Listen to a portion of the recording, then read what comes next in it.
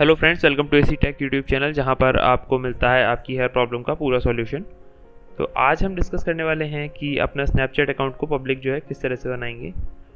तो Snapchat account को public बनाने के लिए आपको सबसे पहले क्या करना होगा? तो पहले अपने प्रोफ़ाइल में जाएँगे और प्रोफ़ाइल में जाकर आप जब सेटिंग्स में जाएँगे।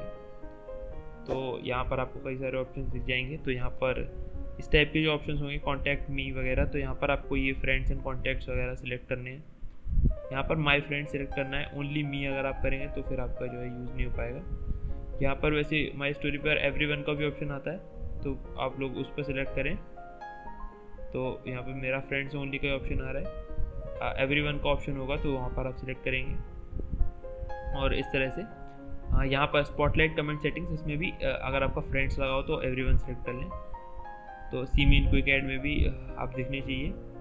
एक्टिविटी इंडिकेटर ये सारी जो सेटिंग्स हैं, इनमें आपको ऑन रखना है, क्योंकि अगर आप अपना अकाउंट पब्लिक करना चाहते हैं तो सब कुछ एवरी करना होगा आपको। उसके बाद फिर मैं आपको बताता हूँ, आपकी पब्लिक अकाउंट अगर आप बनाना चाहते हैं तो पहले ये वाली जो, ये वाला सेक्शन जो है सेटिंग्स से बाहर जब आप आएँगे तो यहाँ पर आपको एक ऑप्शन दिखेगा कि add my account to a public account तो आपका अकाउंट यहाँ पर पब्लिक अकाउंट का ऑप्शन यहाँ पर आपको दिखेगा, लेकिन अभी मेरे को नहीं आ रहा है, क्योंकि मेरा अकाउंट पहले से ही पब्लिक है।